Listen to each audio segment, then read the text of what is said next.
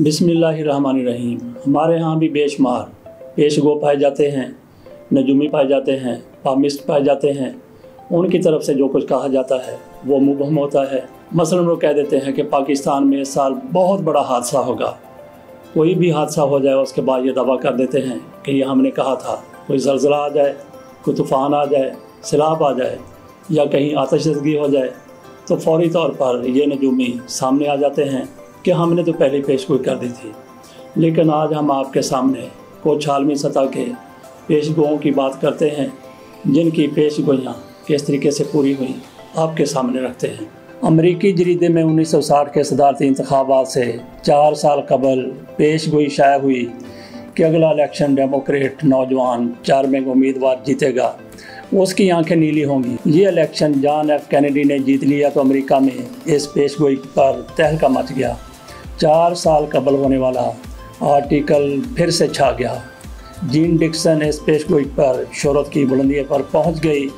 22 नवंबर उन्नीस की सुबह जीन डिक्सन बड़ी मुस्तरब थी। उसने अपनी एक दोस्त को बताया कि उसने जिस सानहा की निशानदेही की थी, वो आज बर्पा होगा। इस रोज़ जॉन एफ़ कैनेडी को कत्ल कर दिया गया। जीन डिक्सन ने जॉन एफ़ कैनेडी के कत्ल की भी पेश गोई इसी आर्टिकल में कर दी थी। जीन डिक्सन की बहुत सी पेश गोइयाँ पूरी हुई। उनमें वियतनाम की जंग, इंडोनेशिया के सदर सोकारनों की माजूली, नेहरू और गांधी की मौत, कम्युनिस्ट चीन का वजूद में आना शामिल था। उसने एक पेश गोई ये भी की थी, पाँच फरवरी उन्नीस सौ बासठ को सुबह सात बजे मशरक़ वस्ता में एक किसान के घर एक बच्चा पैदा होगा, जो सारी दुनिया में इनकलाब लाएगा और हुकूमत करेगा। मौजूदा सदी के आखिर में सारी दुनिया को एक वाद अकीदे पर मुतहद कर देगा। इस बच्चे के ज़रिए नया मज़हब वजूद में आएगा, जो खुदा तला की दानाई और हमत का सबक देगा। सब लोग इस पर ईमान लाएँगे। दुनिया को इस अजीम शख्स को रूहानी कुत का एहसास उन्नीस सौ अस्सी तक हो सकेगा। इसके बाद दस साल में दुनिया की हालत बदल जाएगी। उन्नीस सौ निन्यानवे तक वो बहुत ज़्यादा ताकतवर हो जाएगा। जीन डिक्सन की इस पेश गोई के पूरा होने के लोग मुंतजर रहे, शायद डिक्सन से वक्त का तयन करने में गलती हो गई हो, ताहम इस पेश गोई के पूरा ना होने से जीन डिक्सन की शहरत को धचका लगा और उसके पैरोकारों का इस पर से एतमाद भी मुतजलजल हुआ। जीन डिक्सन के हाथ में अजीब गरीब लकीरें थीं, जिनका वजूद इनसे पहले मुमन नहीं पाया गया था। कमर की उभार पर चाँद का निशान था और उस पर एक सितारा। एक खाना बदोश औरत ने इसको बचपन में देखकर बताया था कि इसका दुनिया में बड़ा नाम और मकाम होगा। उसकी अकलो दानश लामहदूद है।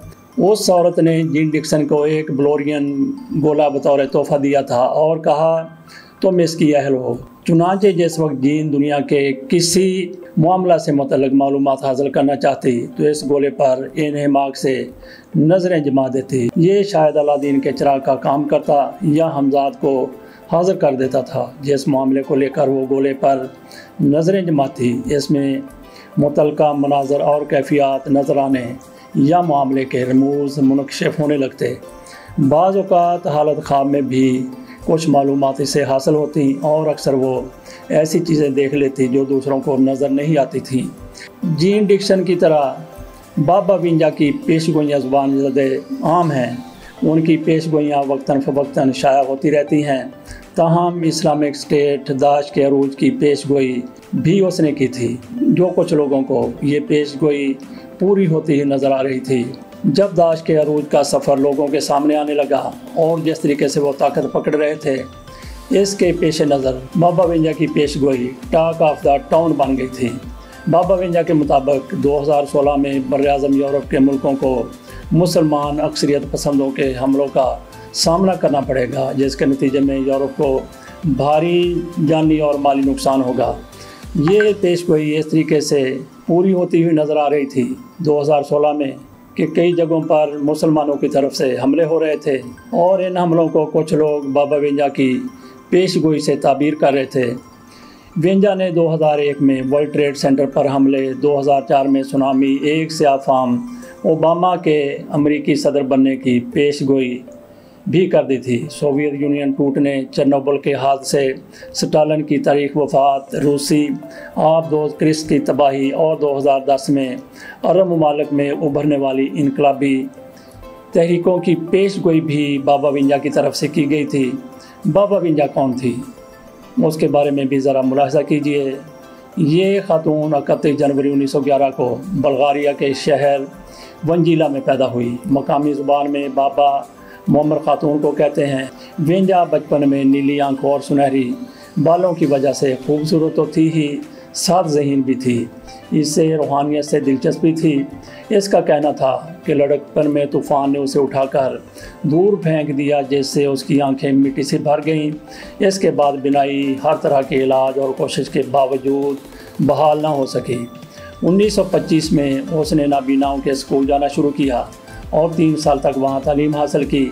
यहाँ उसने ब्रेड रस्म पियानो बजाना, सिलाई, कढ़ाई और खाना पकाना सीखा। सोतीली माँ की वफ़ात के बाद वह अपने भाइयों की देखभाल के लिए अपने घर आ गई। उसका घराना काफ़ी गरीब था। तमाम लोग मेहनत मजदूरी करते थे। उन्नीस सौ उनतालीस में उसे फेफड़ों की एक बीमारी हो गई, जिसके बाद डॉक्टरों ने इसे लाइलाज करार दे दिया और कहा कि वह अनकरीब मर जाएगी, मगर खिलाफ तो वो सेहतियाब हो गई, जिसकी वजह से लोगों में इसकी रूहानी कुतों की शोहरत होने लगी। विंजा दावा करती थी कि उसको किसी नाकबिल फ़हम ज़रिए से लोगों की बातें मालूम हो जाती हैं। कई लोगों का ख्याल है कि इस खातून के पास माफूकुल फितरत ताकतें थीं, जिसकी वजह से ये मुस्तबिल की बातें बताया करती थी। विंजा की पेश पेशगोइयों के मुताबिक 2018 में चीन दुनिया की सबसे बड़ी कुत बन जाएगा। 2023 में ज़मीन के मदार में हल्की सी तब्दीली आएगी। 2028 में इंसान तोानाई का एक नया ज़रिया तलाश करेगा। सियारा जोहरा की जानब एक इंसानी खलाई मिशन भेजा जाएगा। 2023 में कुतबैन पर जमी हुई बर्फ़ पिघल जाएगी और समंदरों में पानी की सतह बुलंद हो जाएगी। 2043 में मुसलमानों को बर अज़म यूरोप पर कंट्रोल हासिल हो जाएगा। ये एक मरतबा फेरा मुलाजा फरमा लीजिए। उसने कहा कि 2043 में मुसलमानों को बर अज़म यूरोप पर कंट्रोल हासिल हो जाएगा। यूरोप के ज़्यादातर हिस्से खिलाफत के तहत आ जाएँगे, जबकि इसका मरकज़ रोम होगा।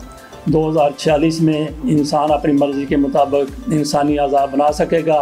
दो हज़ार छियासठ में एक मस्जिद पर हमला होने के बाद अमेरिका गैर मामूली हथियार इस्तेमाल करेगा, जिससे दर्जा हरारत अचानक गिर जाएगा। 2011 में इंसान और रोबोट को मिलाकर साई बोरक के नाम से नई मखलूक वजूद में लाई जाएगी। दो हज़ार चौवन में जानवर इरतका के अमल से गुजरते हुए निसफ इंसान बन जाएँगे। बाईस में टाइम ट्रैवल मुमकिन हो जाएगा। दूसरे सियारों से तलक बनेंगे। चौबीस सौ अस्सी में दो मसनू सूरज आपस में टकराने से ज़मीन पर तारीकी छा जाएगी और पचास सौ उनासी में सेवेंटी नाइन में दुनिया ख़त्म हो जाएगी। वीज़ा के मुताबिक पचास सौ उनासी में दुनिया का ख़ात्मा हो जाएगा। ये अभी ख़ात्मा बहुत दूर है। सरद असाम बात करते हैं। मुसलमानों की खिलाफत की। वेंजा की पेश गोइयों के मुताबिक बीस सौ छियालीस में मुसलमानों की खिलाफत कायम हो जाएगी। यूरोप मुसलमानों की खिलाफत के तसलत में आ जाएगा। इस हवाले से विंजा शायद दुरुस्त कह रही हैं। वैसे तो मुसलमानों की खिलाफत के बारे में ये कहा जा रहा था कि 2023 में तुर्की में खिलाफत ये कायम हो जाएगी। लेकिन ऐसा नहीं लगता कि तुर्की में कभी भी खिलाफत बहाल हो सके। या कायम हो सके। लेकिन मुसलमान जिस तरीके से आगे बढ़ रहे हैं दाश के हवाले से, अगर वो उसी तरीके से आगे चलती रहती तो 2040 से कहीं पहले मुसलमानों की शायद खिलाफत कायम हो जाती। लेकिन दाश अब अपने अंजाम को पहुँच चुकी है। उसका ख़ात्मा बिलखैर हो चुका है। जिस तरीके से वो आगे बढ़ रही थी, जुल्म तशद भी वो कर रही थी, उसकी तरफ़ से इंतहाई किस्म के मुजालम और जब उठाए गए थे। कुछ लोग उनकी हमायत ज़रूर करते हैं। लेकिन अगर वसी तनाजर में देखा जाए तो किसी भी शख्स को बगैर किसी वजह के कत्ल करना सरासर जुल्म है, जबर है, ज़्यादती है, सितम है। बात हम कर रहे हैं मुसलमानों की खिलाफत की। तो ज़रूरी नहीं है कि आपने कोई दाश जैसी तंजीम बना के ही खिलाफत बहाल करनी है, या जंगे लड़ के खिलाफत बहाल करनी है। बीस सौ छियालीस में खिलाफत बहाल होगी या खिलाफत कायम हो जाएगी, यूरोप में या दीगर ममालक में। तो इस हवाले से हो सकता है कि अल्लाह ताला की तरफ़ से कोई और सरबंद बना दिया गया हो, कोई और अहतमाम कर दिया गया हो। तो बीस सौ चालीस तक का इंतज़ार करते हैं कि यूरोप में खिलाफत कायम होती है या नहीं। विंजा के मुताबिक खिलाफत कायम होगी तो उसका मरकज़ रूम होगा। खिलाफत के हवाले से या दुनिया में पेश आने वाले ऐसे ही वाक़ात के हवाले से हम उम्मीद करते हैं कि शायद दुनिया में एक और डिक्सन जन्म ले ले, एक और बाबा गंजा आ जाए। ऐसी वीडियोज़ हम आपके सामने आइंदा ही पेश करते रहेंगे। इजाज़त दीजिए, अल्लाह हाफिज़।